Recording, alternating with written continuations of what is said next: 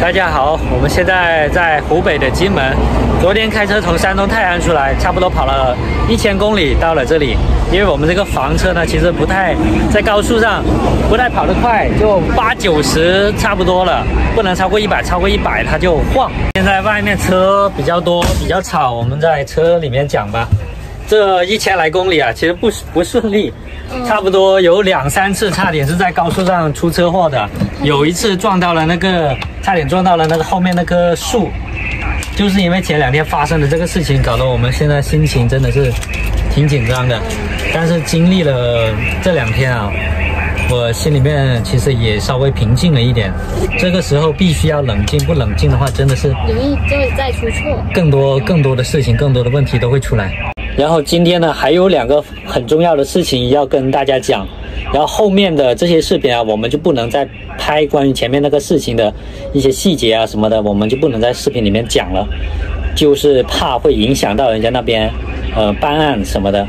然后还有一个问题就是，大家不要在我们不要在任何视频里面去说自己被骗了多少钱啊，然后怎么怎么样，什么时候啊。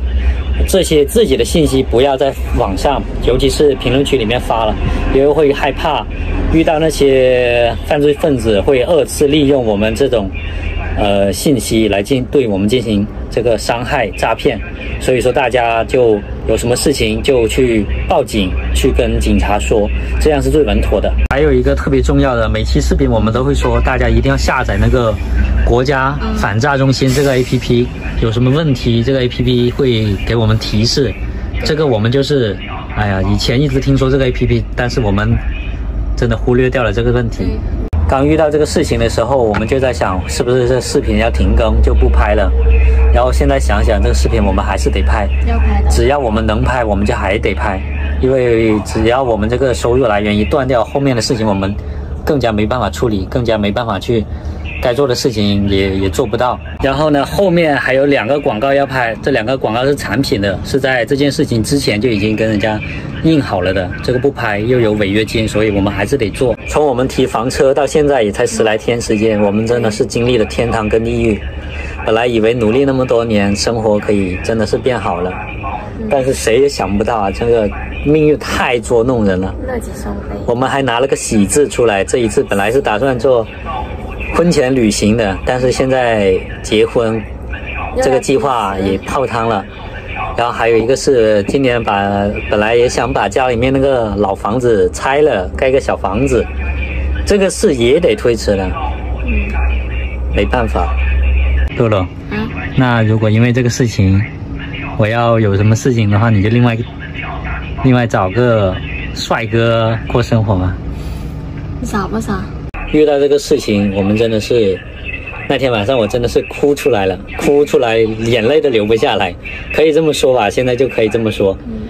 我我我知道有很多的朋友啊，也因为这个事情，或者说因为很多其他的原因导致被骗啊，或者生活有什么困难，但是我相信这个这些事情都是会过去的。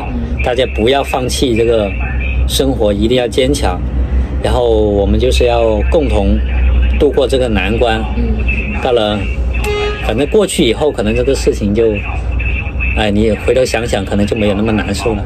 现在我们真的是控制不住，晚上睡觉这两天基本上的基本上都睡不着，睡着也被吓醒，做梦做梦梦到这个事情都会被吓醒。休息个十分钟，然后我们还要继续开车。今天的话，嗯，就尽量先赶到张家界，因为现在也是下午了。再开两个两三个小时赶到张家界，然后可能明天后天就到贵州就回到了。